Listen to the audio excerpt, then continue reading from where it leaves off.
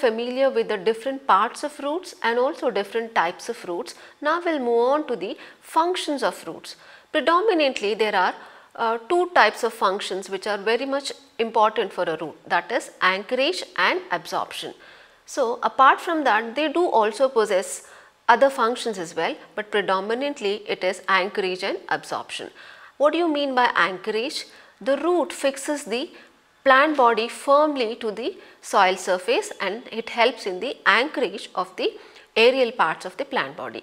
Next is absorption. The roots helps in the absorption of water and nutrients, nutrients from the soil surface and it passes on the water and nutrients to the aerial surface or aerial parts of the plant body and that passing on that the procedure of passing on to the aerial parts of the plant body is called as translocation that is done by the conducting tissues present in the plant body that can be a xylem and phloem. So apart from this it also it also binds the soil materials and helps in the uh, preventing the soil erosion. So what are the main functions of root? One is anchorage, absorption conduction or translocation and then it is it helps in the binding of soil and prevents the soil erosion.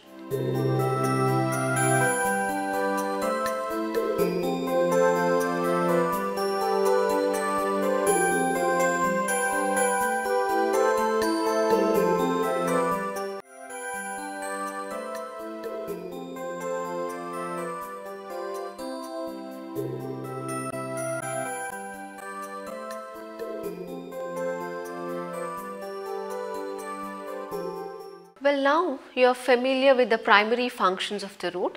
Now we will move on to the uh, another functions of root wherein the tap root and the adventitious roots are modified to perform the other, other functions apart from the normal functions. First, we will study how exactly the tap root system is modified to perform the other functions like predominantly the storage.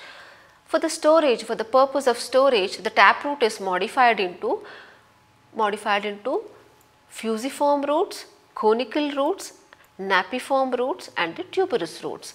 Fusiform roots are usually found in Raphanus sativus, conical roots are found in case of uh, carrot, napiform roots are found in beetroot, tuberous roots are found in case of Mirabilis jalapa.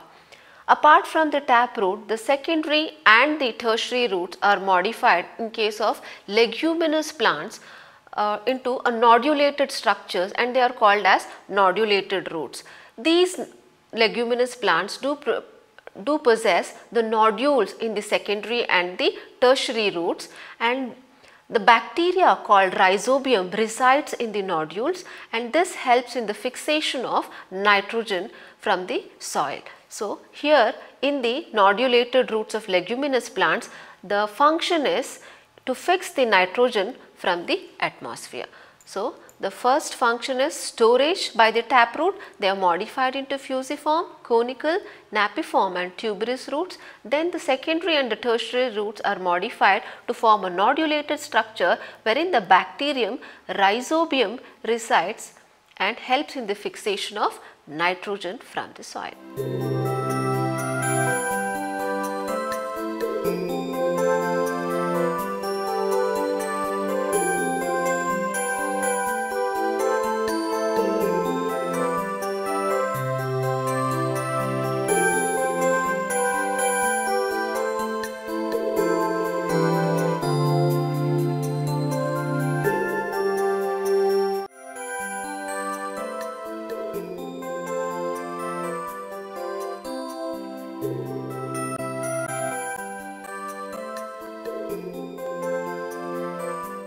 Well, like that of the taproot system modified for the storage, even adventitious roots are modified for the purpose of storage. Let us see the modification in various plants and their names. So, first in Ipomoea batatas, the adventitious roots are formed into tuber-like structures in order to store the food material. Second, a fasciculated roots of Dahlia wherein the cluster of adventitious roots get swollen to uh, for the purpose of storage.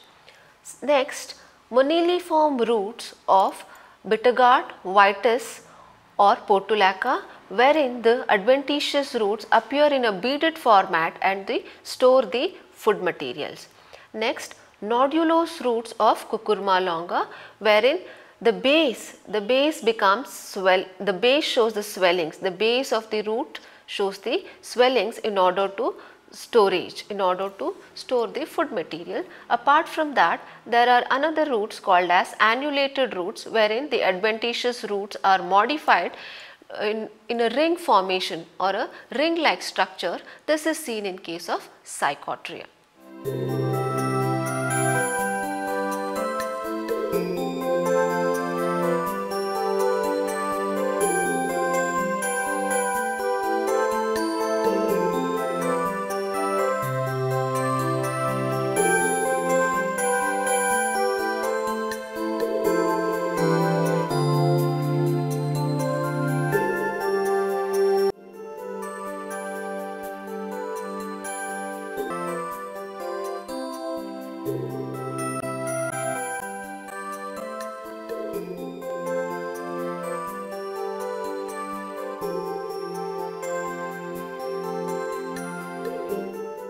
Apart from the storage, adventitious roots are also modified for the purpose of mechanical support.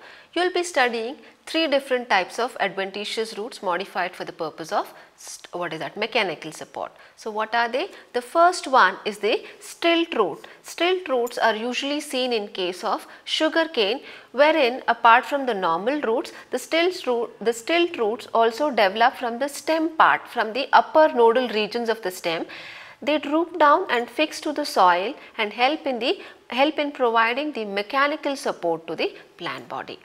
Coming to the next one, the prop roots.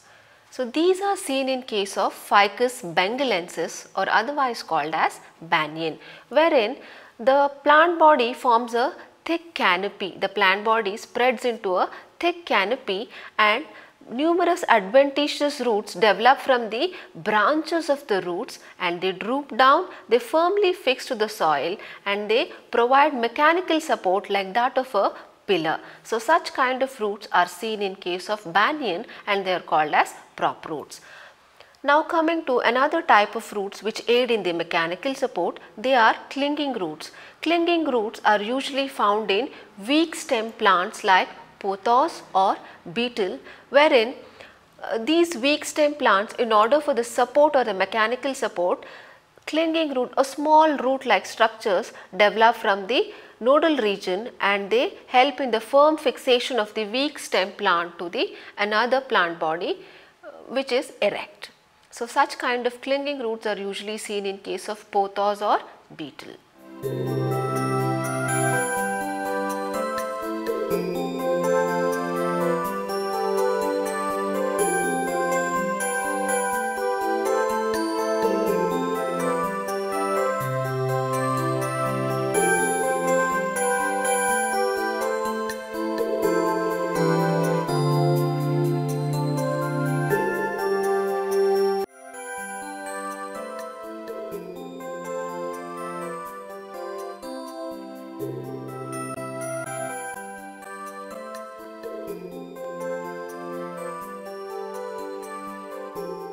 Dear friends ನೀವು ದಿವಿಗೆ YouTube ಚಾನಲ್ಗೆ subscribe ಮಾಡಿ, ನಿಮ್ಮ ಫ್ರೆಂಡ್ಸ್ಗೂ ಹೇಳಿ, ಇದೇ ಥರ ನೂರಾರು ವೀಡಿಯೋಸನ್ನು ಫ್ರೀಯಾಗಿ ನೋಡಿ.